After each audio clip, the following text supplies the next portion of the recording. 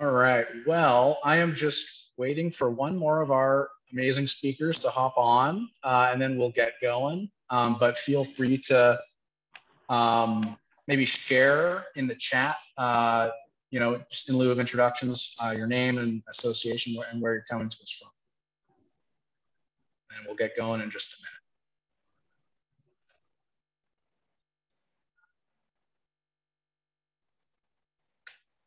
Who's going to be the first? Okay, I'm Susan. All right. yeah, let's let's Susan let's do it. Let's do it in the chat, just because it could take it could take a good long while for us to um, do it verbally. Okay. Awesome. Thanks, everybody.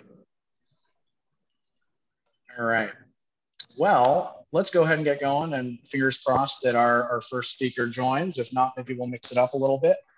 Um, welcome, everyone. Uh, my name is Adrian Wren. I'm a project leader with Valley Vision. I, I, might be in an echoey room, so just let me know if, if I need to enunciate a little bit better. I'm currently in Billings, Montana, um, taking advantage of uh, job transition with my partner, and we're doing a cross-country road trip. So um, that's where I am. I'm at a coffee shop in Billings. So apologies for any technical or sound-related kind of issues with that. Um, so again, welcome.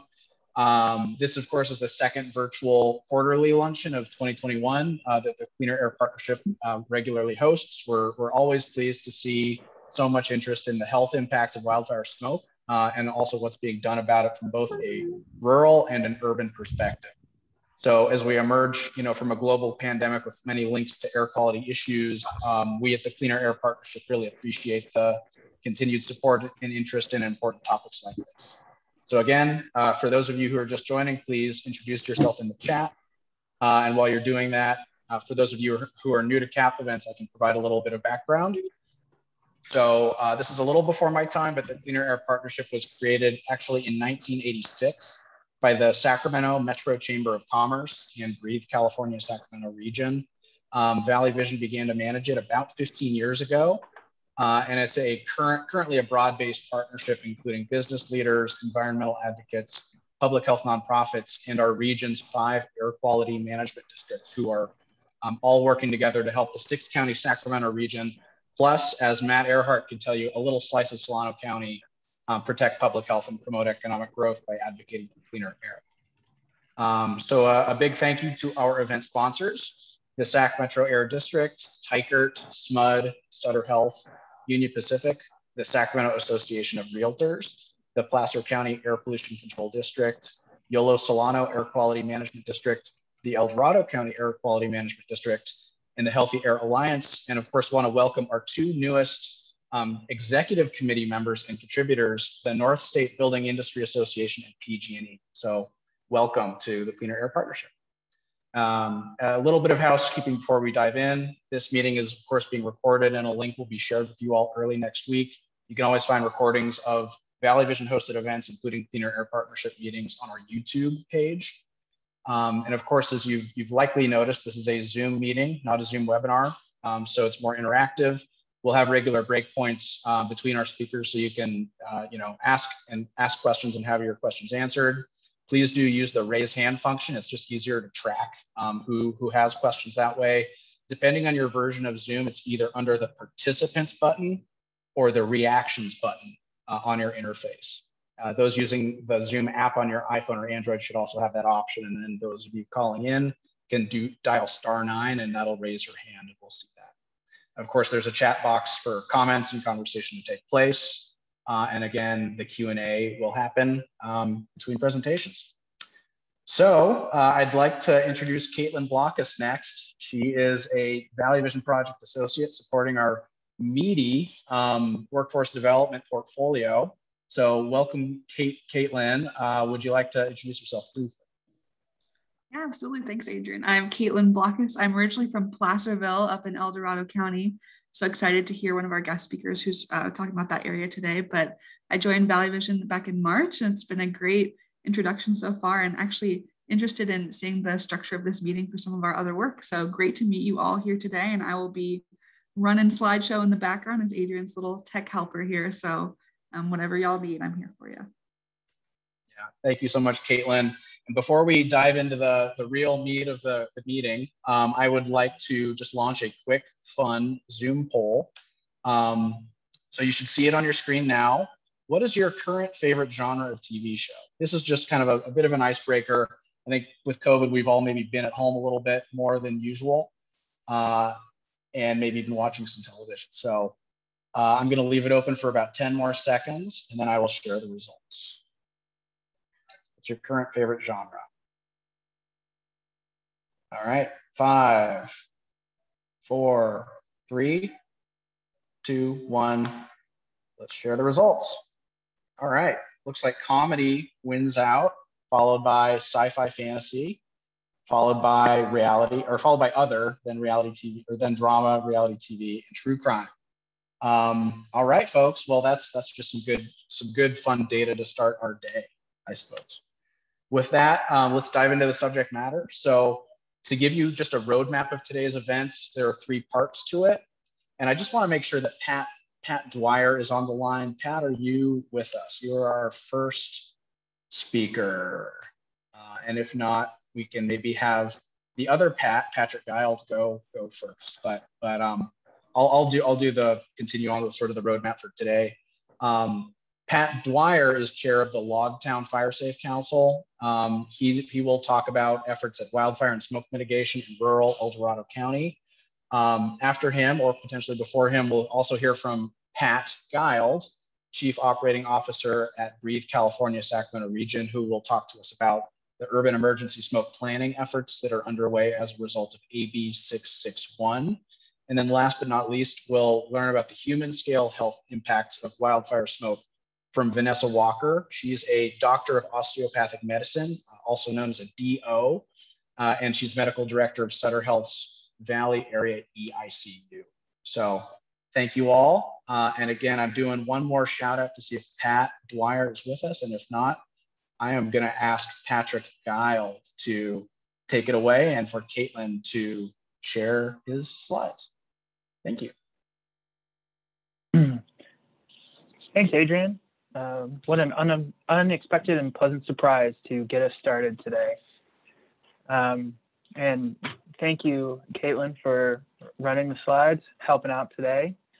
As Adrian mentioned, I'm Patrick Guild. I'm the operating officer at Breathe California. Uh, I'm sure many of you know us, um, but we are a public health uh, nonprofit here in the region uh, with a focus uh, specifically on lung health uh, programs. Um, and that gives us the opportunity to do a lot of cool stuff like this, uh, where we work with great partners like the County Department of Public Health and the Sacramento uh, Air Quality Management District. Uh, next slide, please.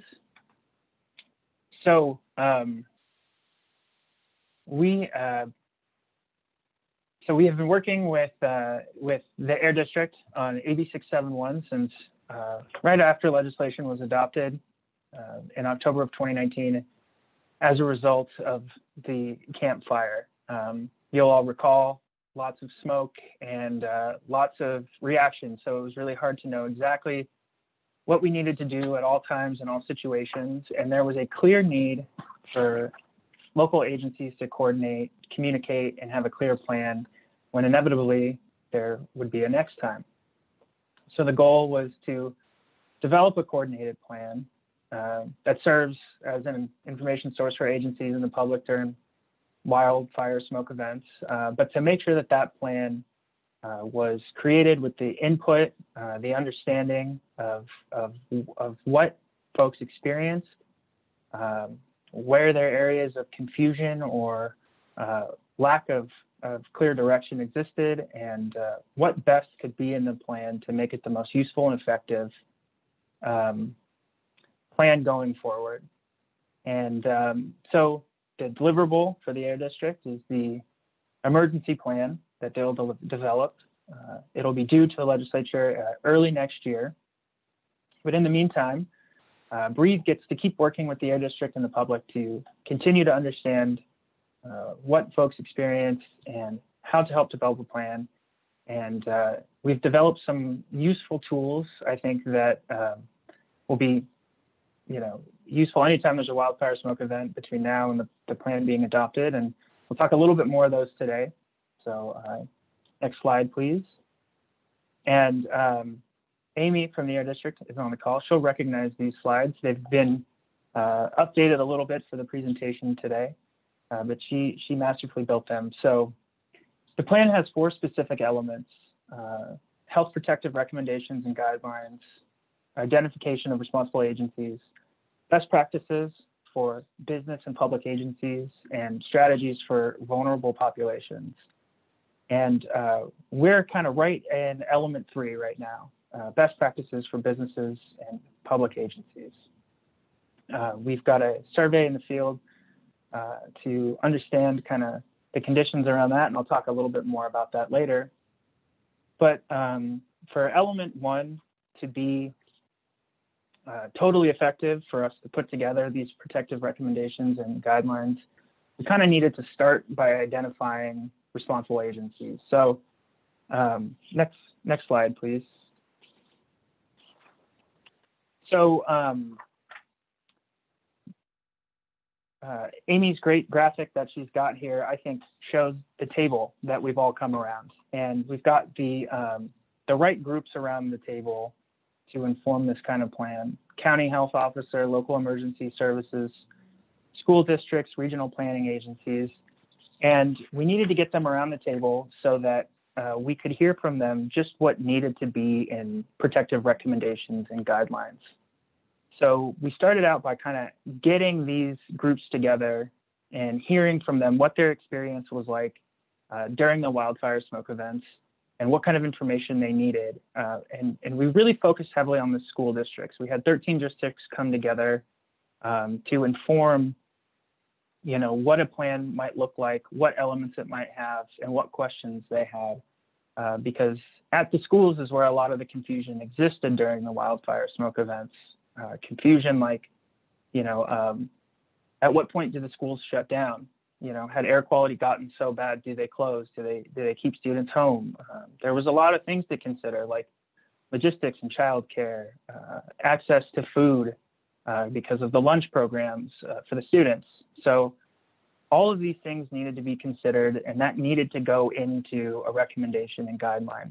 And um, these great agencies have been playing a pivotal role in putting those guidelines together.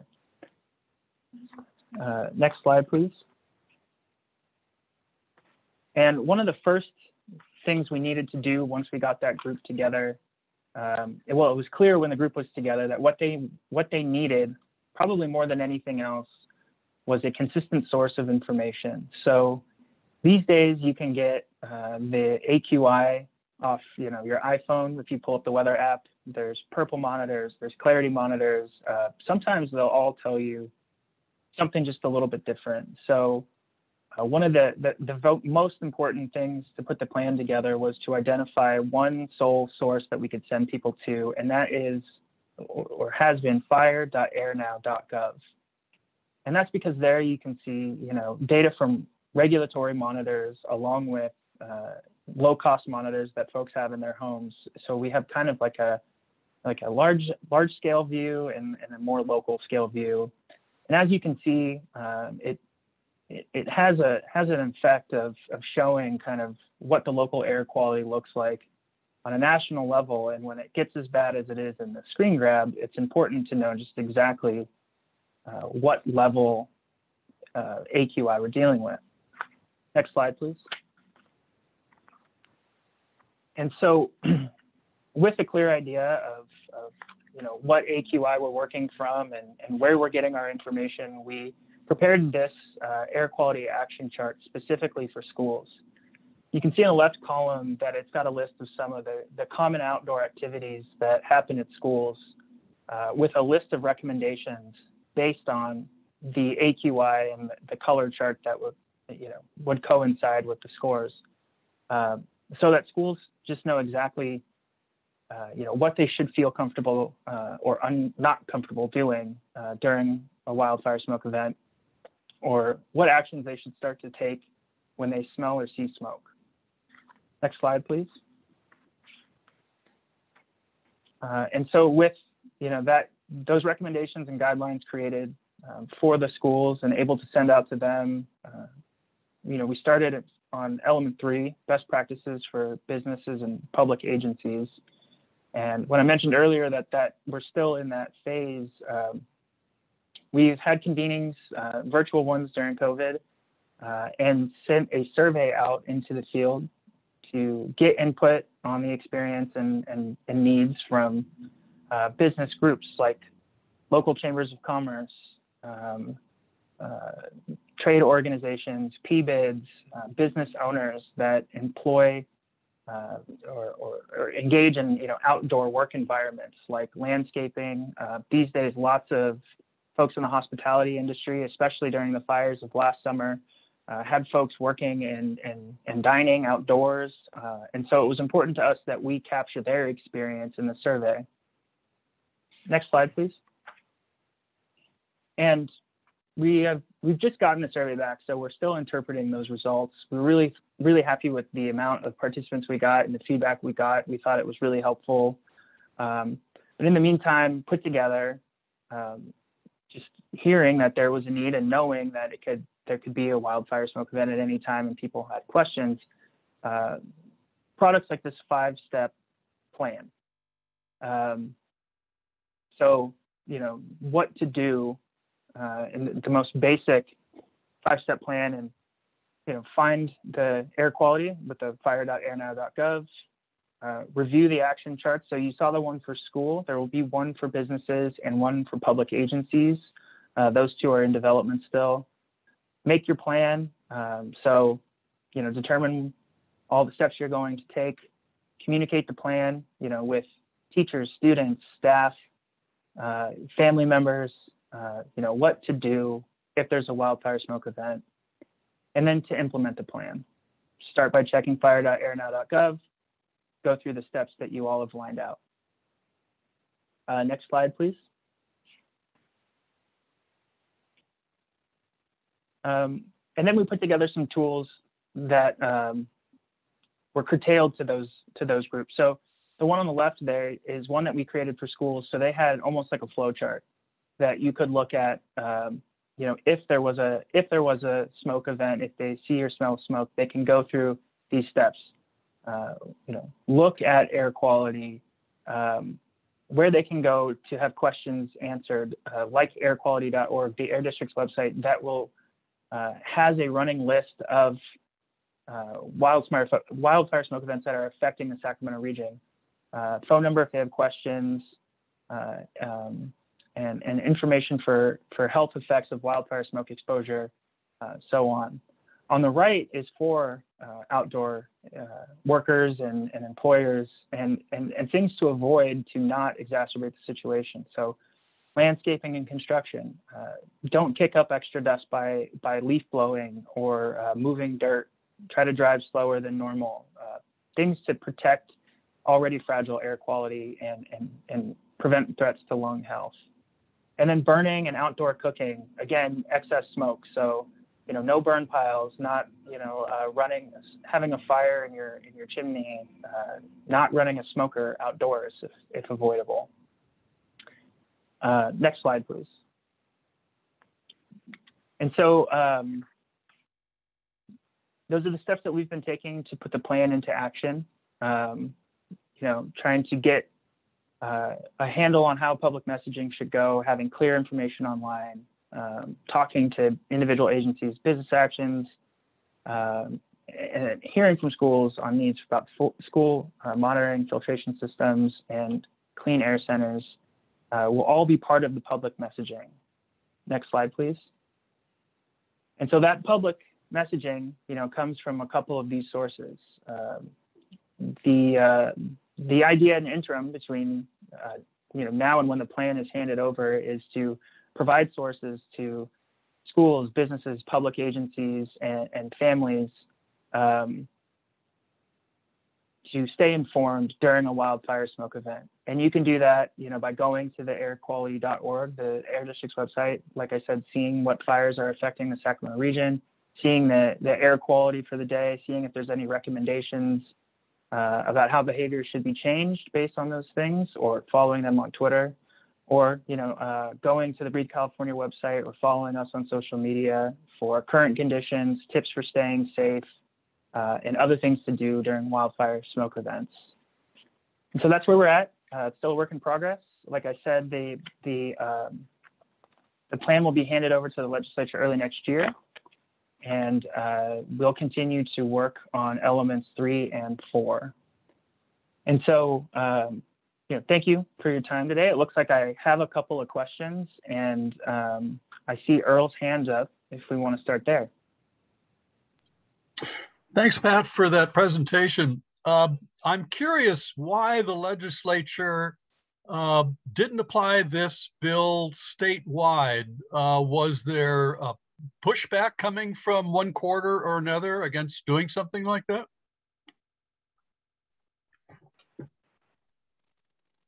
Yeah, you know, that is not something I could uh, really speak to. Um, you know, we've we've our role has been mostly about helping get feedback and, and provide that there. Uh, if there's anybody on the call from the air district that you know could speak to that, uh, you know, happy to hear hear that. I can um, I can help you out, uh, uh Patrick. Uh, thanks, uh, Earl, for the question. It, it was sim simply a matter of practical a practical approach, Earl. Um, our our program, our legislative mandate, is a pilot and um, as a pilot, um, it was really our, our um, assembly member, uh, Kevin McCarty, who authored the legislation, who saw the need for us to try out this different approach of uh, coordination. So it simply, it's simply the practical aspect of, of us being, being um, unfortunately, the ones that, uh, for that particular event, the Camp Fire, as, as Pat uh, described, uh, we saw quite a bit of, a, of an impact in the, in the, in the capital region. Um, and what I mean by an impact is, is really, um, you know, there was a sense of everybody was running around trying to figure out what to do and, and, and, and who, to, who to go to and, and et cetera. So there was, there was quite a bit of a, a commotion, if you will. And, and, you know, a number of elected officials expressed uh, a desire to be more coordinated in the region. I don't know to what extent the same played out in other parts of the region. So that's that's how we ended up with uh, 661. Thanks. Thank you. Uh, I see that uh, Brandon asked, uh, do we delineate any of the various mission adjustments in what AQI number to use from the AirNow website or Purple Air? Um, I, I, hate to deflect these questions, but Brandon, that's a little more technical than I, I really uh, am prepared to answer. But I do know that one of the benefits of the fire.air now uh, website is is that the purple air monitors, you know, have been adjusted. Um, so it's not just the straight it's not just the straightforward data that you would just see, um, but they are there's a, an algorithm I think is what they use to to kind of make that adjustment there.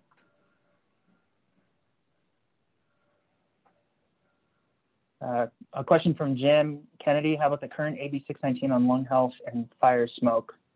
Uh, thanks for sharing the fact sheet because that is something I would need to get uh, a little bit smarter about uh, here. We have been uh, tracking that one a little bit, but um, I appreciate you sharing. Looks like Bill, Bill Mueller's wondering which counties this covers. Yeah, yeah. So, um, you know, my, uh, as far as I am, I know it'd be Sacramento County, um, as far as a, a, plan goes. But again, maybe Alberto, you could. Uh, it looks like that's that's what he's saying. So, like these tools, for example, uh, just to get to the next question about final drafts. Uh, the, the tools I shared today are available on the Air District's website. So, um, you know, they're not proprietary. We wanted to make sure that they're available for like the public benefit in case there's a wildfire smoke event and, and folks are, you know, have have resources, you know, at in, in their hands uh, when they need them. Uh, we are working on translating them into the eight threshold languages as we speak, so they're available to to more people in the region. Um, and, and in Sacramento County. Um, So uh, they are kind of a work in progress in that way. And then, um, like I said, there's more more products being developed as we continue the outreach process. So we'll have uh, uh, activity charts for business and public agencies coming soon. Awesome. Thank you so much, Pat. Looks like really important coordination work happening in Sacramento County and, and something for those of us outside of Sacramento County, uh, whether we're in the region or, or outside of it, to pay attention to. All right. Any other questions? Thanks, Adrian. Great. Okay. Well, uh, we have our, our other Pat, Pat number one, I'm going to call you, um, with us now. Apologies for the, the technical issues, um, Pat, but would love to turn it over to you now. We've heard sort of about the, you know, what's happening at, in Sacramento County, the more urban scale with emergency response. But course, you know, we want to prevent these things from happening in the first place, right? So what are what are, are, are you able to share with respect to what's been going on in El Dorado County? And I, I understand we have slides to share. I would love for you to take it away. Okay, uh, thank you very much, Adrian, and thank you for the technical assistance. Um, uh, and I guess in order of sequence, I'm really Pat number two. But um, I'd Fair like enough. to tell you, like to tell you a little bit about the El Dorado County efforts and the El Dorado County Fire Safe Council. Um, the council's actually been in existence since 2002, so pushing 20 years now. Um, and it, we regret perhaps having county in our title because a lot of people affiliate us with the, the county of Sacramento, and that's simply a geographic description in our in our name. Um, we're, we're really a 501c3 nonprofit standalone public benefit corporation. And most importantly, we're an all volunteer force. So we have no paid staff, uh, a bunch of uh, gray hairs working off their kitchen tables with laptops. And I'd like to tell you about a few of the accomplishments. We're pretty proud of, of what we've done. I also should extend a thank you to Dave Johnson, who couldn't join the group today uh, for uh, kind of hooking me up with y'all uh, and giving me this opportunity. And thank you to the members of the uh, Clean Air Partnership. Okay, next slide. Good news, I only have 10 slides. The bad news is they're 20 minutes each.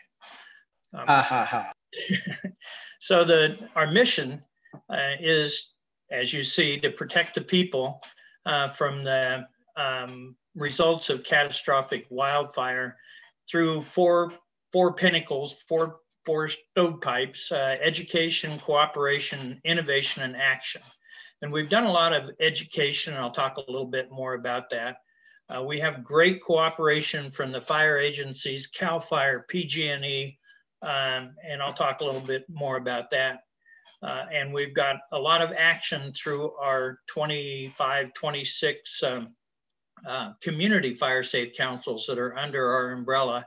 And we're still working on something to be innovative, but I'm sure we'll come up with it. Next slide, please. So our whole philosophy, and I, as a volunteer organization, is we're truly a bottoms up group. It's not a top down telling people what to do and how to do it. We try to get uh, homeowner and community cooperation to want to do the right things. So we help homeowners, and help is the operative word, fulfill our responsibility to create uh, defensible space and then harden their homes. And I'll talk a little bit more about those in a couple of slides. And we also help communities, uh, not necessarily incorporated communities, but they could be homeowners association, property owner association, just um, little communities like mine, uh, which is Logtown. And I know you're all saying, where's Logtown? Well, I'll tell you, it's halfway between Mud Springs and Pokerville. So I hope that clears things up. Actually, you probably all know it's, uh, uh, I'll give you a landmark. It's three miles south of Poor Reds. So um, we do help communities um, create a network, a communication network, um, sometimes phone trees to alert people of potential wildfires or wildfires that could affect the area. And uh, we also do um, a CWPP, Community Wildfire Protection Plans, um, for each of the communities we represent. Uh, the last one, and it's it's a big deal. Um, it has to be approved by all the fire district and CAL FIRE and the Board of Supervisors. And it's just a plan that lays out where are the risks for wildfire and what can we do to mitigate them in terms of roadside clearance or fuel reduction and that sort of thing. Next slide, please. So I'll, I'll go backwards a little bit and talk about all of the fire communities we deal with. Um, the Fire Safe Council is really a truly a California organization. At one time, it was a subset of CDF, California Department of Forestry, before it became uh, CAL FIRE. And it had support from insurance companies, and they spun it off to be a statewide nonprofit so that they could apply for and receive federal grants and grants from uh, private industry like PG&E. Uh, on the East Coast, um, they had FireWise communities. And the FireWise really were um, created by NFPA, the National Fire Prevention Association, which is really insurance companies. And their focus was on hardening homes. What can you do to not use wood siding, cover your gutters, your non-flammable roof material, that sort of thing. While the Fire Safe Council was more focused on defensible space and vegetation control and that sort of thing. Uh, and then up popped the fire adapted communities after the damaging fires in Colorado. And their focus was on evacuation preparedness. And the truth is you need all three, leg, all three legs on that stool. You need to do all three things. So we've incorporated all those national ideas into our, our approach. Next slide.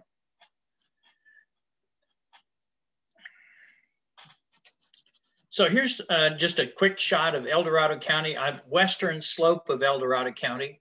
Uh, once you cross the summit and go into the Tahoe Basin, there's a whole different set of uh, um, regulations and rules. And so we represent uh, the western slope, communities on the western slope. And you can see them listed there. They go all the way from Volcanoville in the north down to Logtown in the south, uh, Lake Hills Estates on the, on the west, and good old Grizzly Flats on the east, and then all points in between.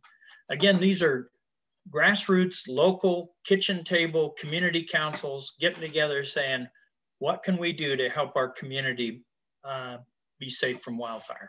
Next slide. So we're focused on the preparation plans that uh, are actually being updated right now, as I said.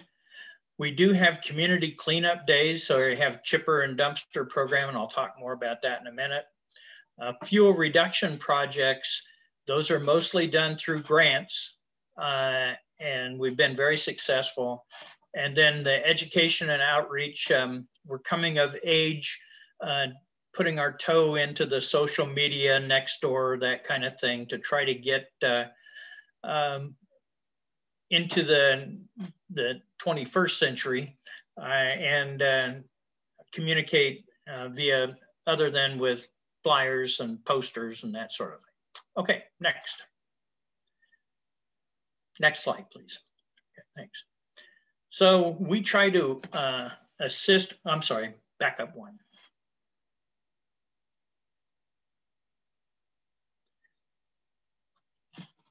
We try to assist the residents and help them do what is really their responsibility under Public Resources Code uh, to clear defensible space around their homes. And the way we've done that is we have a, a county-wide chipping program where people clean the area within 100 feet of their structure, uh, limb up trees, remove the brush, uh, and then pull it out to their driveway or to the roadside. Uh, they fill out an online request form, and within two weeks, uh, a contractor comes and chips some material. And they leave the chips um, on the property, either broadcast them or just pile them. So in the 12 months between June of 2020 and July of 2021, we did almost a thousand of those chipping jobs. Um, and that 200, almost 300,000 cubic yards of materials was chipped. And that's, that's important because about 85, uh, 65% of the people that when they fill out the form, we said, if the chipping wasn't available, what would you do with this material? And over 60%, between 60 and 70 said they burn it. So we really have, as Patrick said before me, to help air quality, there's are uh, hundreds of thousands of cubic yards that are not burned uh, and are chipped. And the chips are then used to, um, uh, by the homeowner to control um, uh, erosion or keep weeds down and uh, improve the, the watershed. So it's kind of a win-win situation. The other thing we do is uh, assist communities. I said we had that wildfire protection plan. And in there are a list of projects, um, probably 100 to 300 acres uh, for each of the projects. And once they're identified, it's the community that has to submit grants. And we assist them in that by helping doing grant writing classes. And we have a grants committee to do a peer review and we've been very, very successful. In the past five years, we got 30 grants totaling almost $5 million. Um, uh, and also we've received national recognition for five out of the last six years for our efforts. So um, pretty successful for a bunch of old, old people. Next, um, next slide. And so we have, you know, the Patrick's presentation on what to do when there's a, a, wildfire smoke in the community. Well, our goal is to not have the wildfires, or per, you know, it's it's unreasonable for us to believe that we could um, stop a fire like the Camp Fire. I, I they're so situational, but uh, in the Amador El Dorado County AEU of Cal Fire, there were about 600 wildfires last year, and uh, over 90% of them were contained to 10 acres or less. So the, a lot of that is the homeowners and property owners doing what they need to do to give the firefighters a chance and keep small fires fire uh, small. So that's that's pretty important. And then I al already mentioned about reducing ignition from pile burning. Um, that 147,000 cubic yards last year that was chipped and would have been burned if we wouldn't have chipped it. Next slide.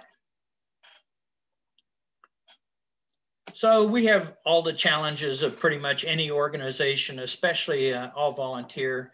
Uh, in the communities, we have the challenge of ap apathy. People just, some people just don't care. And so it's hard to convince them to do what they need to do, even with our assistance. Uh, we have a lot of absentee property owners and vacant parcels uh, that are really um, not good stewards of the land. Uh, they're more investors, and so it's hard to get their attention. Uh, and then being all volunteer force, we have volunteer burnout. People say, hey, I retired to, to go play golf or go fishing. I don't, I don't need to have these 300 emails every day. Um, we have to nurture our collaborations uh, and build sustaining support. And you can read the rest of them off the, off the slide. And the last bullet is we're kind of a victim of our own success. Uh, as I mentioned, we had 30 projects, uh, $5 million and managing that with an all volunteer force is difficult, we enlist the aid of the uh, Resources Conservation District, who've been a great partner, uh, and I think we'll see more partnerships in that area. Next slide. So we're, we're like I said, a victim of our own success uh, with all of the interest on wildfire and uh, um, the global warming. Um, we've been, or climate change, there's there's been a flood of funding. We've gone through some pretty lean years, and now there's a lot of people lining up trying to give us money, and we want to make sure we use that those funds efficiently and and for what they're intended. Next slide.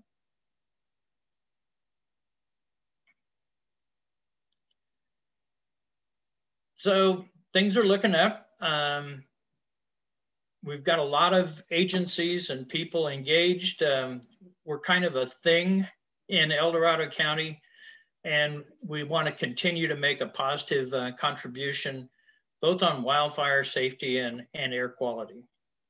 So um, thank you very much for your attention, and uh, I guess it's a good time to open it to questions. Thanks so much, Pat. Um, so reminder to folks, if you do have questions, you know, raise your hand. Again, you can do that via the reactions um, um, button on your screen. Uh, but I, I, know I have a question maybe to kick it off before uh, passing it to Bill. Um, curious, you talked a lot about the funding side of things, but beyond providing funding, what can, you know, for example, the feds and the state do to, to help you with, with what you're doing currently? Well, I think on the, we'll start at the bottom. On the county level, it's taken a long time, but the county finally has a vegetation management ordinance, which they never did before because El Dorado County evolved from ranchers and farmers and, and vineyards that were good stewards of the land and didn't feel like we needed it. But as I mentioned, now there are a lot of um, uh, investors and absentee landowners. Uh, so the vegetation management ordinance is a big help. I think uh, fully funding not only the fire response at both the state and federal level, you know, the air tankers and the uh, fire apparatus and the more, most importantly, the staffing to operate those things uh, is certainly important, but it's always been unbalanced. It's always been um, the old pound to cure, and uh, we haven't ever got the ounce of prevention.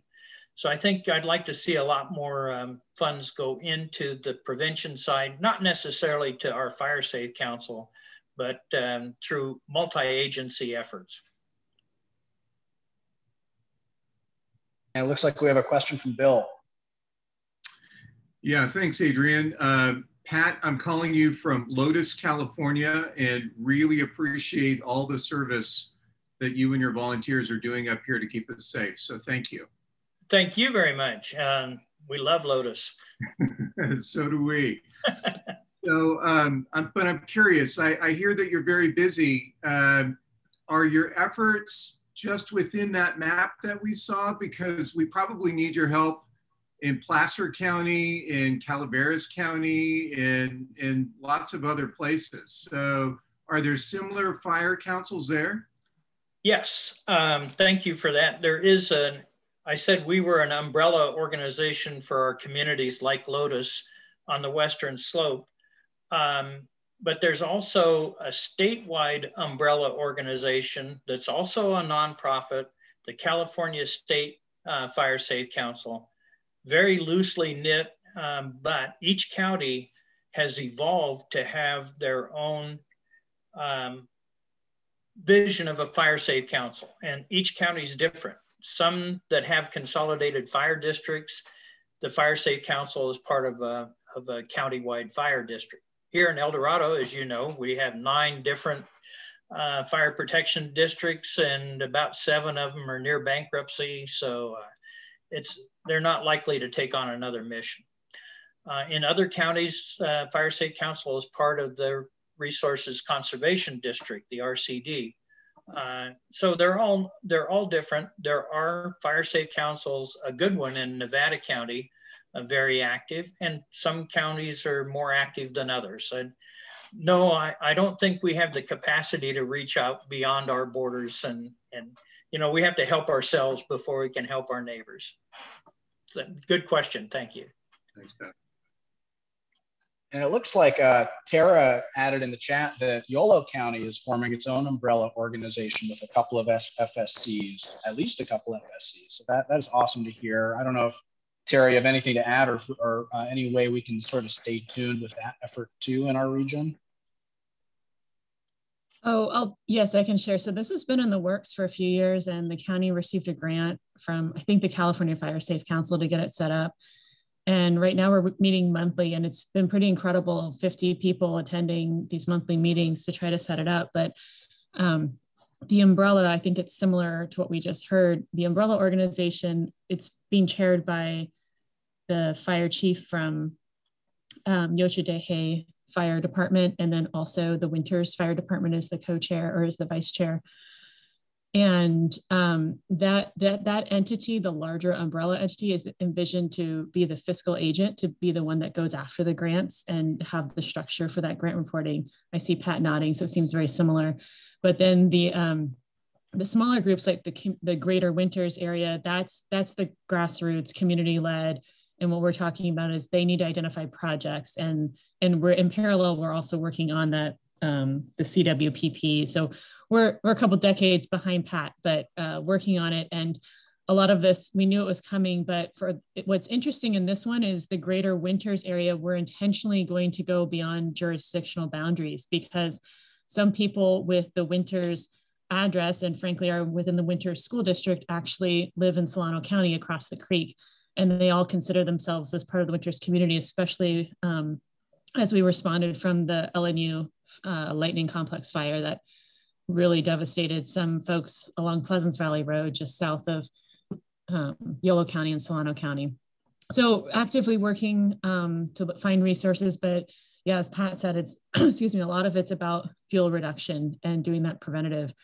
And, and I'll just share one more thing. Um, community members, we did some listening sessions actually with Meg Arnold uh, last fall, but um, connected here. And one of the main things we heard is some of these communities have evacuated five out of the last six years, but they said this fire was different than any other. And um, part of that was just how fast and aggressive it was.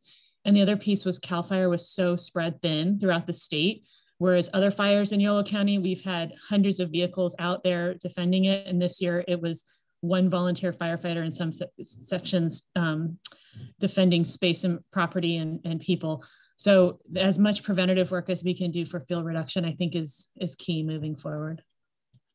Great, that was uh, good. Thank you for the question and the comments. Um, let me volunteer to say that uh, in our chipping program, we spent years developing the software and the database and how people can apply for chipping online and how we man, uh, generate job tickets to the contractors.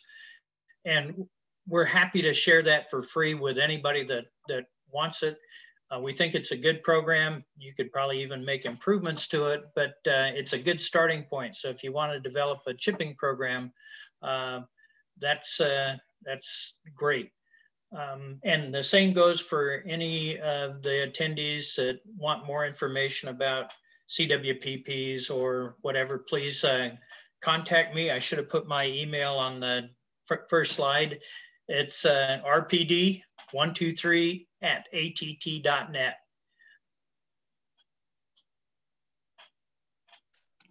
Thanks so much. Um, I, I, do have another question. It looks like Chris Norum has his hand raised, but I wanted to get a quick one in. Um, we have some utilities folks, including folks from SMUD and PG&E on the call today. How do you work with the utilities? Um, is that is that an easy for you? Is it difficult? It's it's very uh, we're very very lucky that both SMUD and PG&E uh, are have been great partners. Uh, a SMUD representative sits on our board, uh, and SMUD has transmission lines that come from Icehouse uh, all the way down through to Folsom, and they've been very good stewards in maintaining those lines, clearing the vegetation, as a matter of fact, the, the transmission lines themselves, the vegetation removal, have created a fire break for the rest of the community. And, and the same is true for PG&E. I know it's, it's popular to, to badmouth and uh, take pot shots at PG&E, um, but they have really stepped up their game in doing the same thing, removing vegetation um, very aggressively from around transmission lines and also around the neighborhood distribution lines, which really helps because most of those are along roadways. So that helps on our evacuation routes. And we do work um, very closely with both of those utilities. Great. Well, let's hear from Chris Norum. He has his hand raised. Uh, thanks, Adrian. Uh, hello, everybody.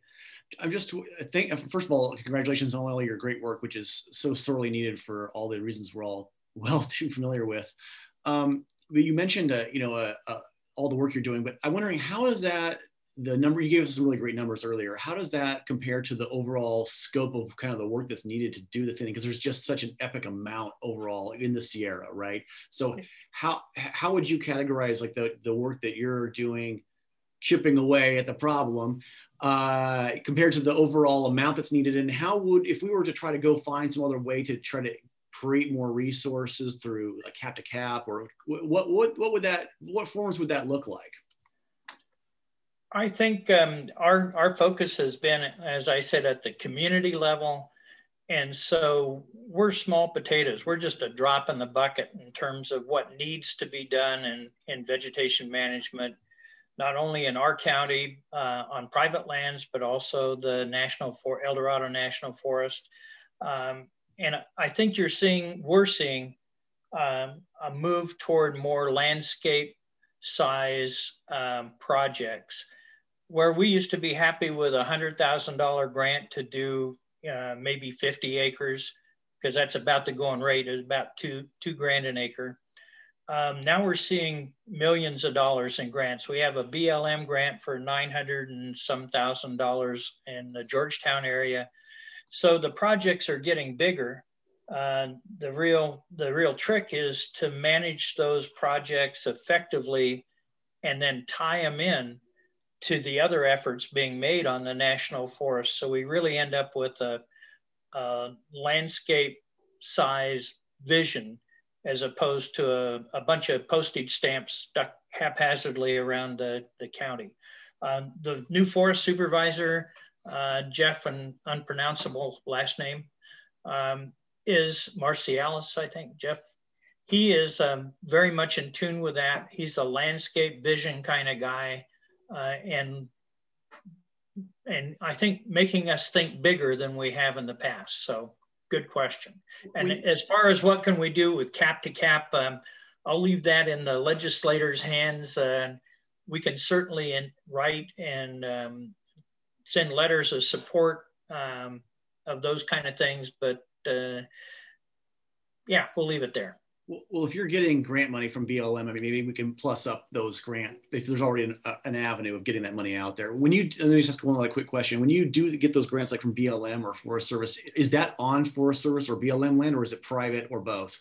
Yes, it's uh, it's both actually, uh, and we also have under the Stevens Authority, we have uh, grants through the U.S. Forest Service uh, to do specific projects um, adjacent to the federal forest or or even on the forest. Uh, adjacent being kind of a, a loose term. Got it. Thank you so much. Well, thank you, Pat, for that that excellent presentation about about the great work that you're doing in El Dorado County. Um, definitely interested in following up uh, on behalf of the Cleaner Air Partnership and to all who are interested in, in um, you know, just one-on-one follow-ups, uh, I, I did put Pat's email in the chat box. So thank you again, Pat. Thank you very much for your time and attention. Thank you. So before we go to our uh, last but not least speaker, Vanessa Walker, uh, I'm gonna do a, a second poll real quick. And this is really to gauge um, interest in uh, sort of a potential in-person event for our next go round here at the Cleaner Air Partnership. So um, let me go to our second poll and launch this. And then it should be on your screen now.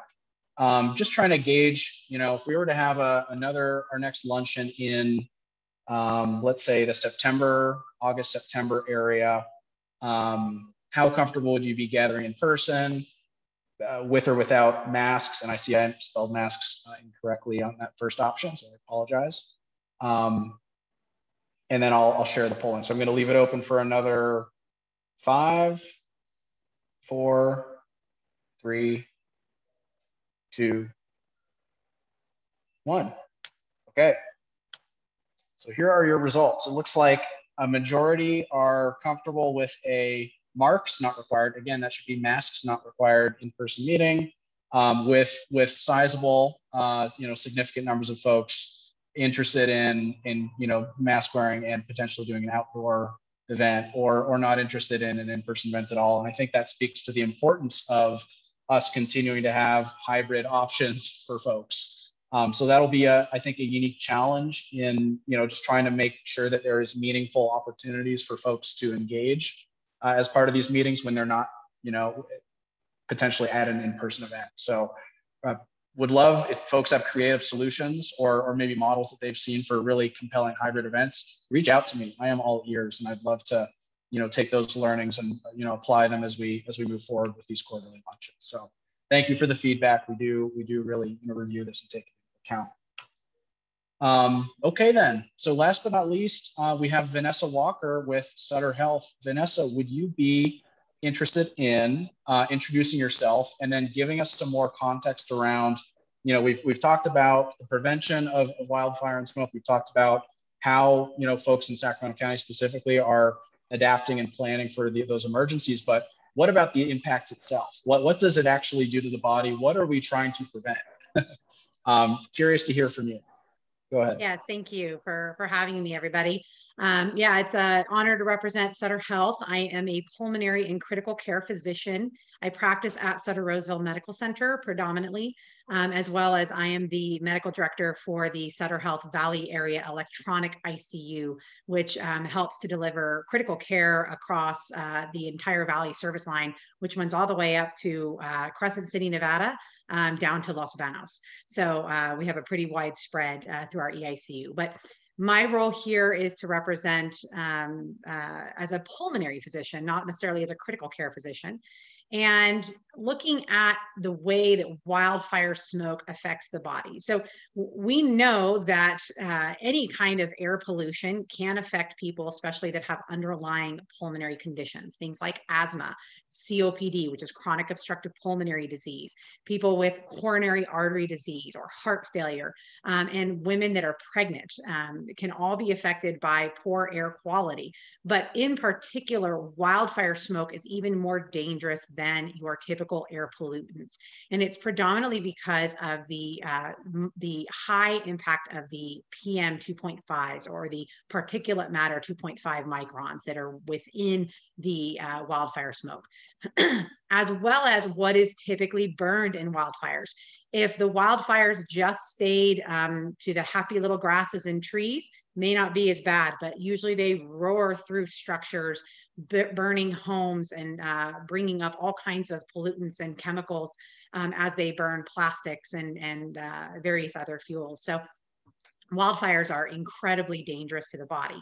So what are some of the things they can do? So for, uh, for people with underlying respiratory illnesses, like I said, asthma, COPD, things like that, um, it can cause an, a flare up or an exacerbation of those medical conditions. So um, most people, when they're when they have well controlled respiratory diseases, they use inhalers or various other medications that keep their airways open and keep inflammation down.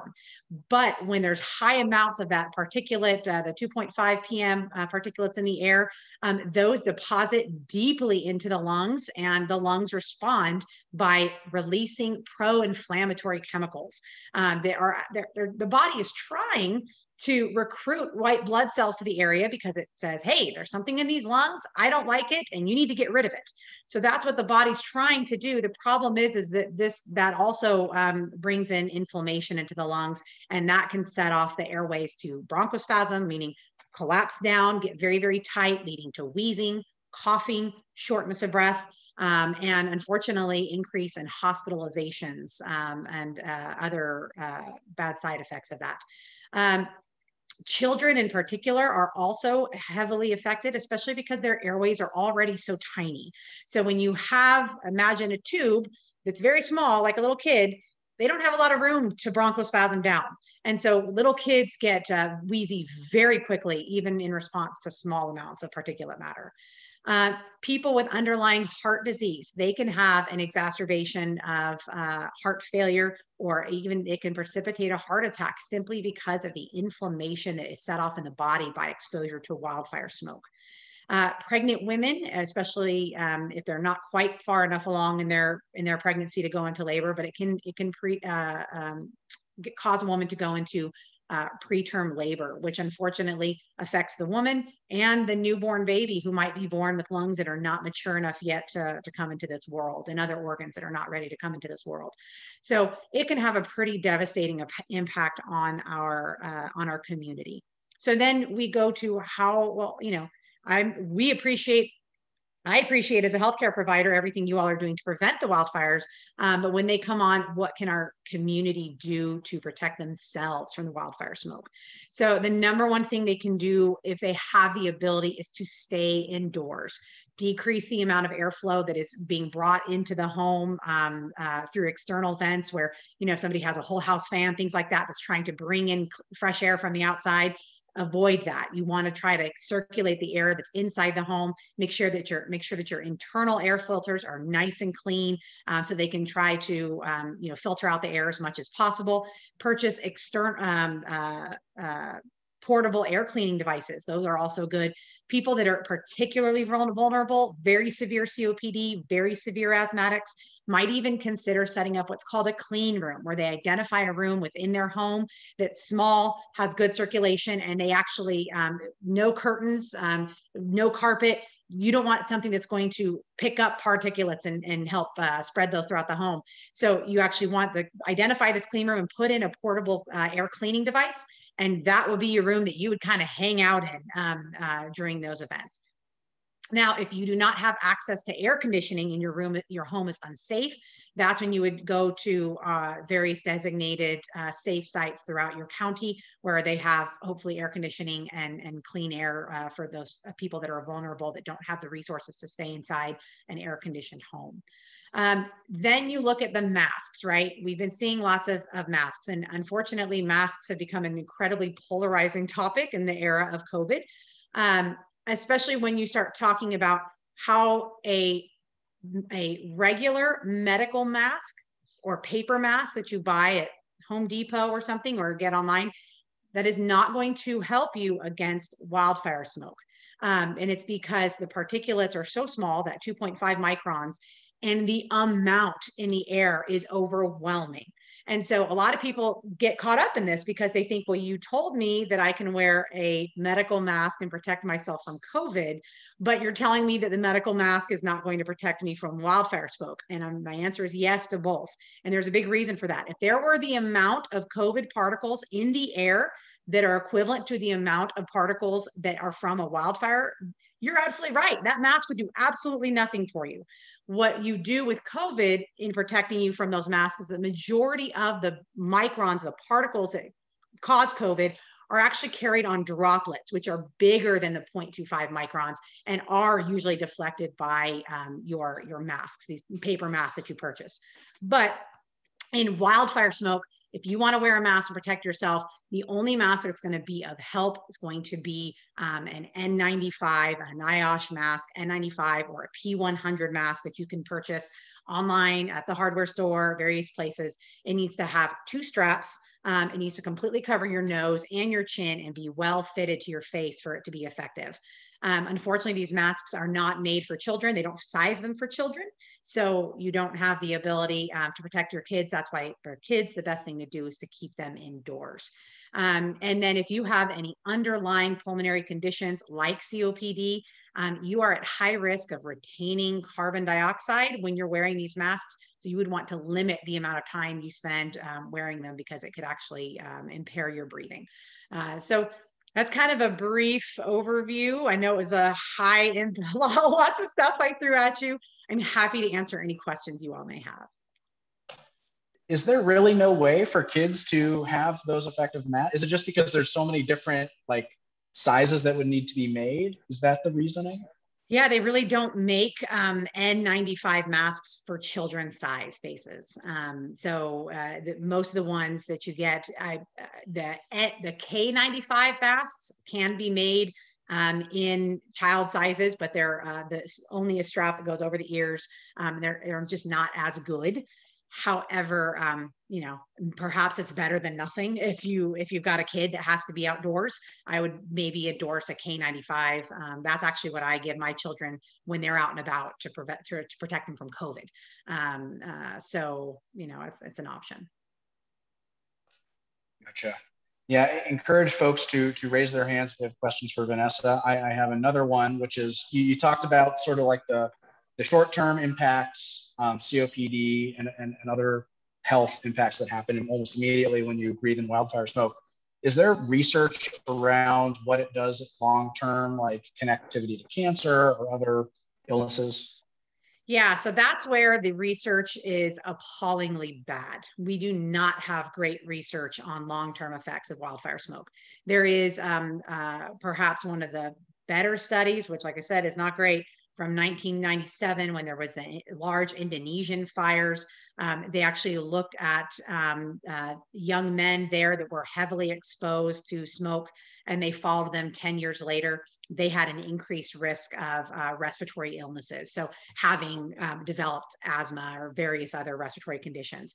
So, um, but you would think with the massive amount of wildfires that have been roaring through the West for years, that we would have better research on long-term effects and we simply don't have a lot of um, uh, research on long-term effects.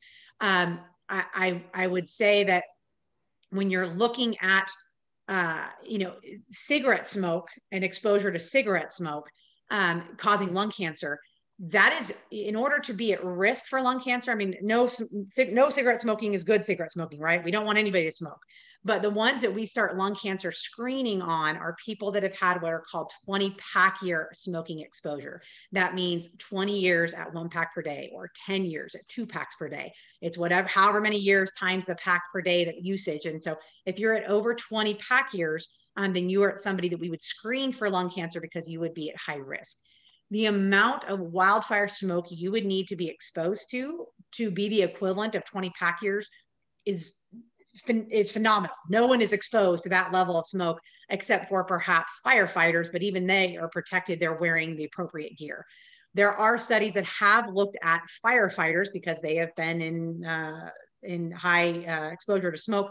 And yes, firefighters or people that are we know very well that are our first responders that went into 9/11 um, and risked their lives uh, have long-term permanent lung damage due to all of that high particulate matter that they breathed into the lungs and led to intense inflammation. And then unfortunately, they developed not necessarily cancers, but severe debilitating um, fibrotic, fibrotic disease, which is lung scarring. Um, and then just really bad asthma or chronic um, uh, just inflammation. So lots of bad things happen when you're exposed to wildfire smoke. Um, and we want to try to avoid that at all costs. Gotcha. Looks like uh, Bill Mueller has his hand raised. Uh, thanks, Adrian. Uh, so, Dr. Walker, you gave so much information so quickly and it was so good. Uh, I just want to compliment you because Thank you. there's a lot of information. Out there, it's not great or it's all over the map. So your clarity was just, it was fabulous. Thank you. Oh, thank you so much. Um, and, and my question is um, on the on the path of the, the science of this, um, I there was a well publicized study that came out, and I think it was publicized in Nature, came out in March of this year on wildfire smoke, and it wasn't the long term effects. It was, hey, the toxicity of smoke is like five times worse than what we thought it was previously. And I wonder if you could reflect on that, whether you've had a chance to look at that study, or is is that sort of shaping health health guidance today? So I don't know that it's going to be um, shaping our health guidance, but absolutely the amount of particulate matter that is coming out of wildfire smoke um, is 10 times more the um, uh, amount of particulate matter that comes out of any other form of pollution.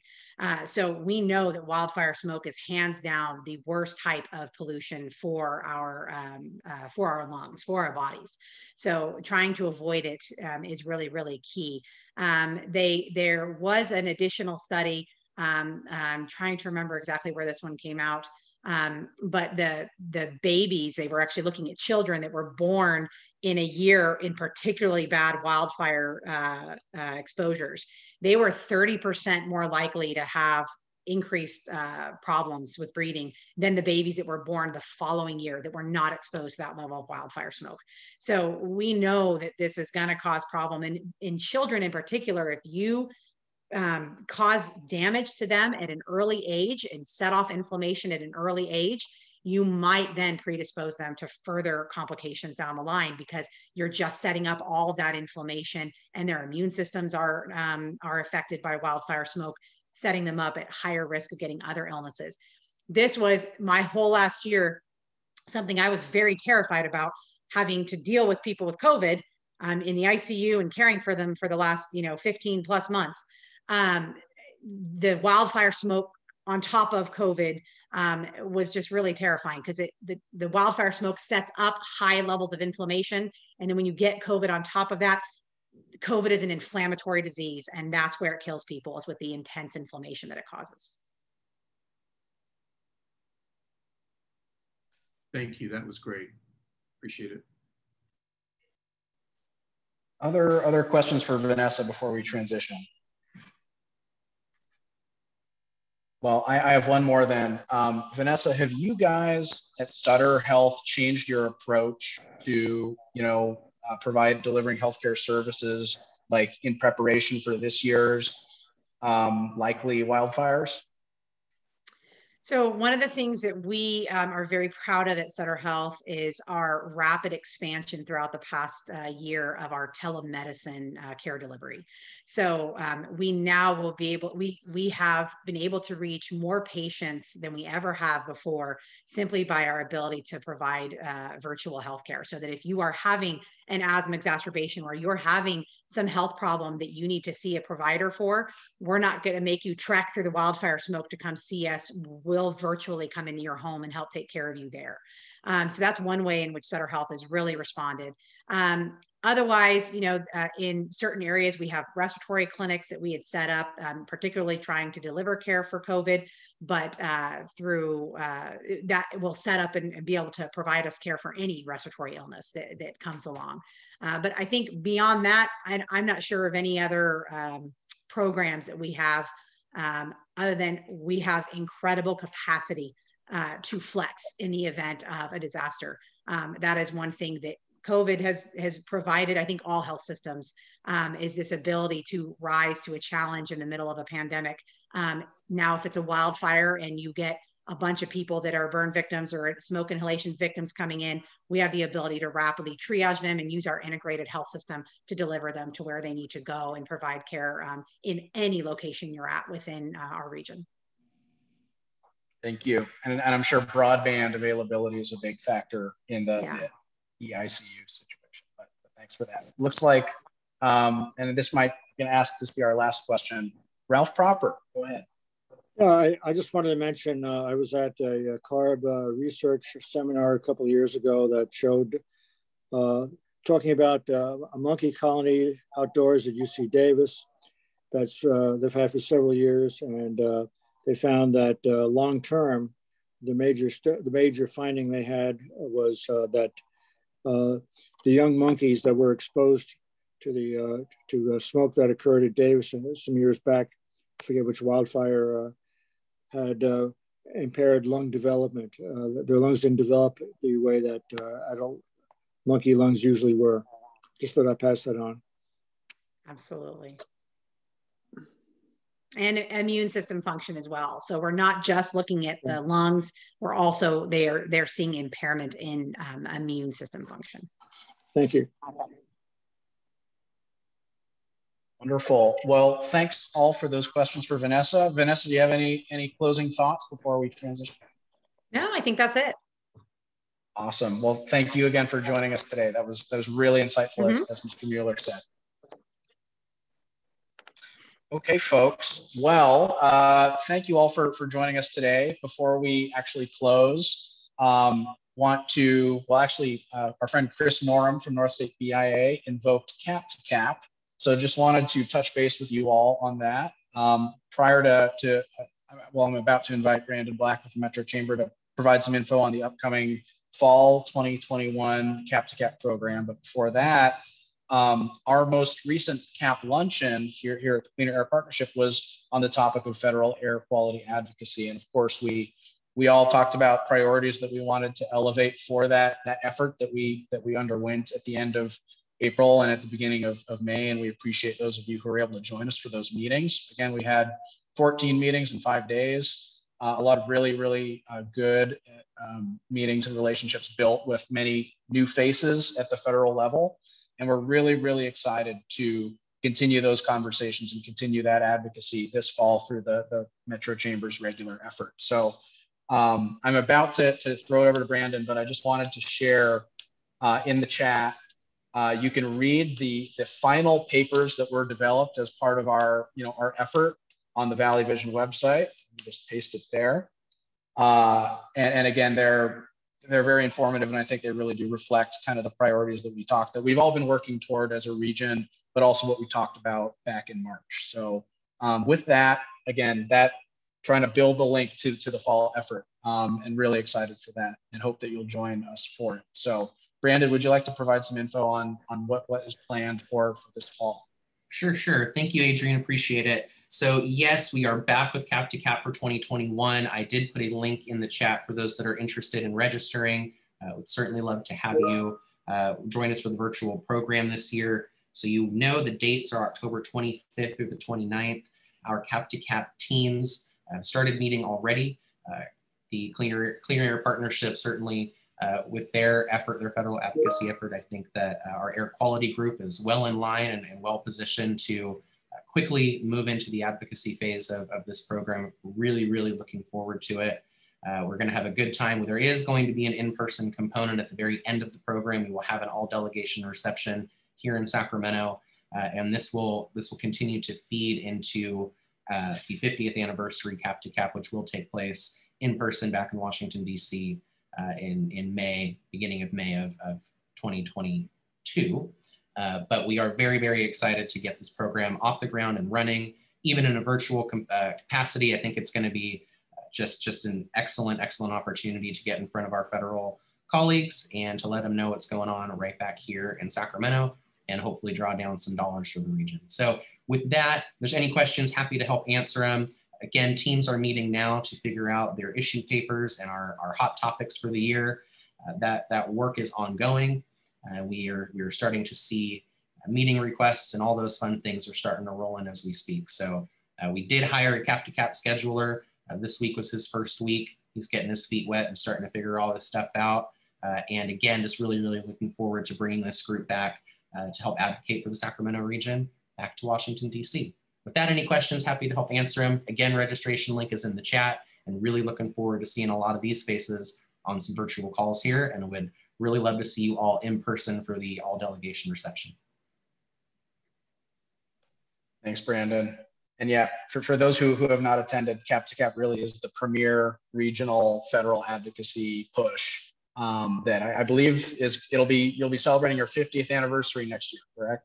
We will be celebrating the 50th anniversary of Cap to Cap next year. Uh, there's a, a, very long history in this region of this program being very effective in drawing down dollars and support from our federal government right back here at home. Wonderful. So if you're interested in clean air and you want to you want to be in those meetings, join the air quality team. We'd love to have you. Thanks, thanks, Brandon. Cool. All right, everybody. Well, uh, really do appreciate the time today. Um, before we close, uh, I, I, do want to thank um, Caitlin Blockus with, with Valley Vision, my colleague, who did a wonderful uh, bang up job running the back end of our of this meeting. Amazing work, Caitlin. um, and of course, to the Cleaner Air Partnership's generous contributors and our fantastic lineup of speakers. Thank you all. Um, So before before you hop off, I do, I'm gonna post this into the chat. This is our evaluation form that we that we always do. It's the famous one minute evaluation um, that hopefully won't take you more than that to complete. Really just wanna get your read on uh, how we did, future topics for luncheons, as well as again, that question about uh, interest in potential in-person meetings. So um, please, please uh, take the poll, take the, the, complete the form before you all leave. And a recording of this webinar will be available on Valley Vision's YouTube channel in about 72 hours. Um, keep an eye out for an email from me next week. Um, I hope you all enjoy your Friday afternoon and uh, your weekend. Thank you all again for joining us. Oh, it looks like Stacy has her hand raised. Stacy, do you have an announcement? Sorry, no, I wanted to go back. I had a quick cap to cap question. Uh, Breathe will be, we'll have at least four representatives there. Um, wanted to know if we have another topic to bring up potentially with air quality, who would I, would that be John that I would talk to about that or, or Brandon, do I go through you there? Uh, you would want to go through the air quality team leads. Uh, Adrian, I think you can help make that connection too. Certainly, um, we we are just for folks' knowledge, we're, we're limiting papers for the virtual program to two this year for each team. Um, so that is just one caveat to mention. But yeah, absolutely. I think Adrian, you'd probably be the best point person for the team. Yeah. Yes. And uh, just for everyone's awareness, the, the air quality team leads for this year are myself, Valley Vision CEO Evan Schmidt, and Placer County Air Pollution Control District CEO um, Eric White. So those are the three folks. So you can go through any of those. Thanks, Adrian. All right, everybody enjoy your weekends. I am going to Yellowstone in a couple hours, so uh, I will talk to you all later, but uh, have a wonderful weekend. Bye.